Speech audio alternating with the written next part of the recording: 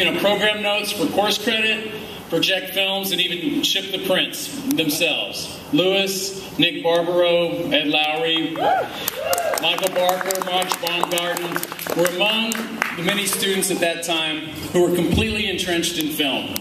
They spent their days and nights watching movies, writing about movies, and talking about movies. Cinema Texas sowed the seeds that led to the creation of the Austin Chronicle, which was co founded by Nick and Louis in 1981. Yeah.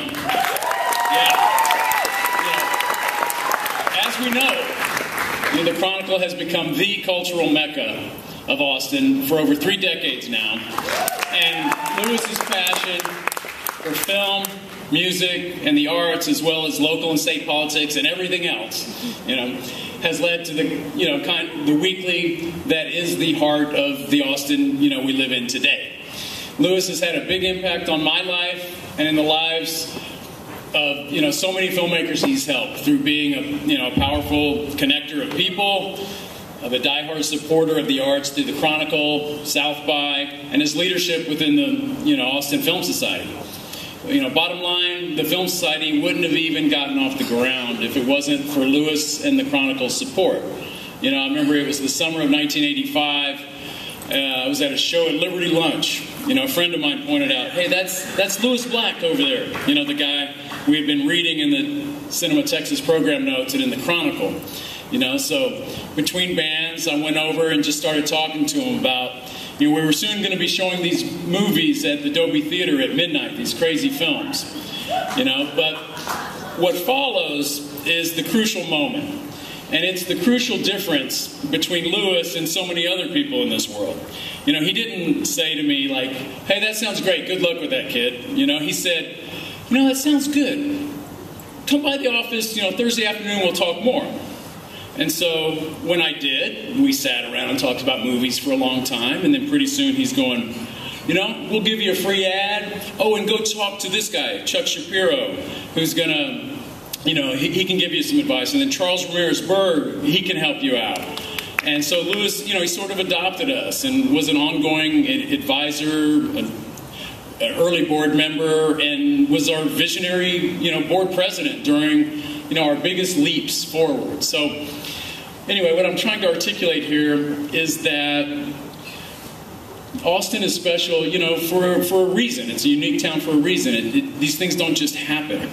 You know, it's not by accident. It's because of leaders in this community like Louis, who, you know, 20, 30 years ago were, you know, laying the groundwork and the building blocks to shape and steer the culture of the modern Austin. So Louis to me is like the most exemplary example of a cultural leader I can think of. You know, he cares. His heart is in the right place. He has an informed opinion. And most passionately, you know, and most importantly, he has a passion and an enthusiasm and a work ethic that we're all the beneficiaries of. So, you know, on behalf of Austin, and behalf of the film culture, not just here and in Texas, but but everywhere. You know, I just you know we all want to just say thank you, Louis. So um,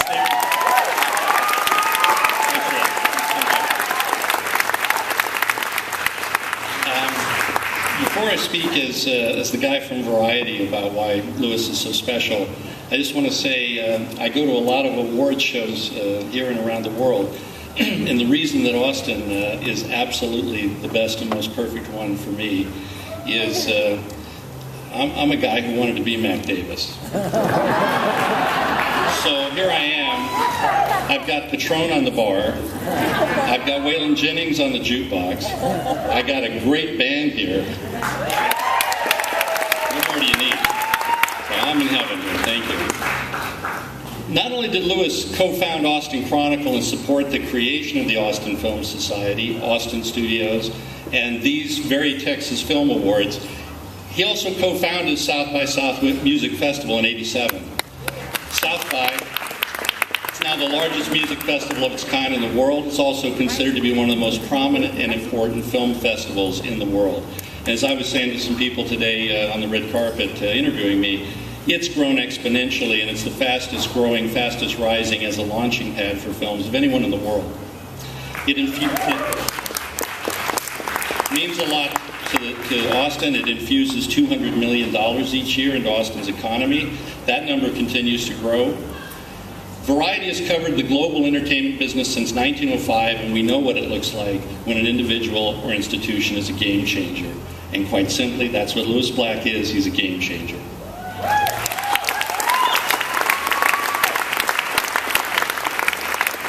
What he did when he started South by over 25 years ago has evolved and grown into a festival that has a global impact on the entertainment industry. It's a place where some of the most talked about successful filmmakers and musicians in the world have launched their careers. A whole lot of them are here tonight, by the way.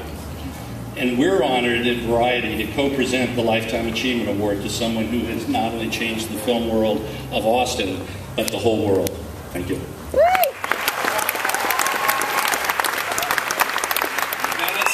Let's take a look at the video. All right.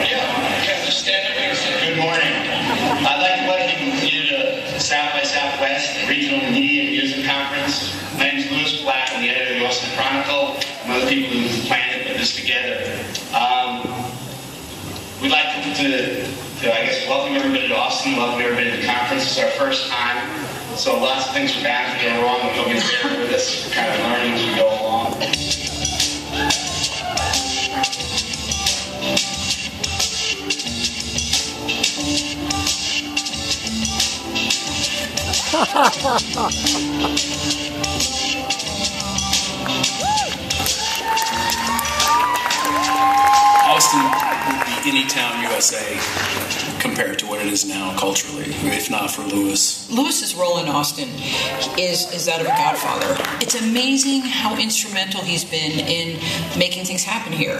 You know, you often meet people who have ideas and who talk about things, but Louis has this ability to kind of connect people and make things happen in a really substantial way. Some people are broad and shallow. Louis is narrow and deep. Uh, when you get into one of Louis's verticals, whether it's music or film or alternative uh, media, uh, there's nobody who can touch him in terms of his knowledge and his vision, the breadth of his experience, and ultimately his commitment. Before the Chronicle came, there was not a centralized place where you could find out about all of the interesting cultural things here in Austin.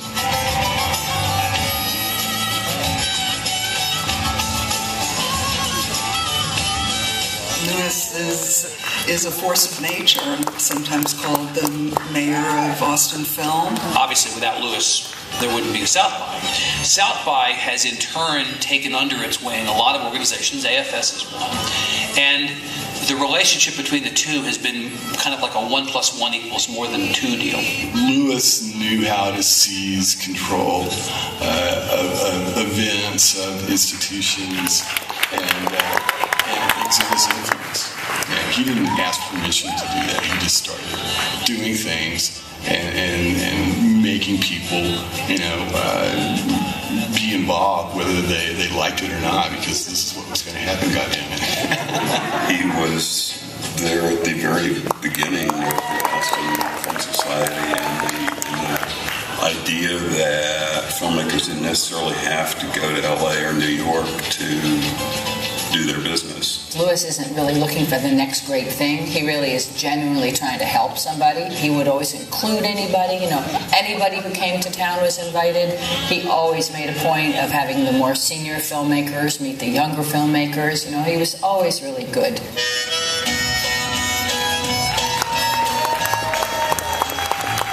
The night before Toronto Film Festival, he knew I was scared. You know, he didn't know how scared, but he just sort of sat me down and reminded me why I like all the reasons I wanted to make the film reminded me that I knew what to say about my movie. He just sort of gave me confidence that I could, you know, that I knew what I was doing. And, and I think sometimes he had confidence in me before I did. And, you know, you kind of need someone like that. So I've known him for 15 years, and the entire time he's been like a coach and a mentor to me as um, the Film Society has gone through tons of huge changes. He is quite the visionary, but he's also very practical, um, and he has he's grounded in culture and grounded in community. So he's been a great um, mentor and guidepost. Super moral and super straight up, and just, just cares. You know, and he cares. I think first and foremost about Austin. What's good for Austin? Louis, I want to thank you for inviting me to Austin, Texas for the first time. And I want to thank you for um, introducing me to um, David Boone and Brian Hanson and Tom Huckabee and the many other extraordinary young Texan filmmakers who we drank beer with and smoked pot with and watched films with in somebody's apartment uh, many, many decades ago. I want to thank you, Louis, for having extraordinary opinions on everything, not just um, uh, movies and food and politics and life and poodles and stuff, but everything. I love you like a brother. Um, I love you so much, and I congratulate you on um, finally being honored tonight by the Austin Film Society, another great organization which surely lot of fun. Greetings to everybody there. Bravo, bravo, Louis Black. Take care. The Lifetime Achievement Award recipient, Louis Black.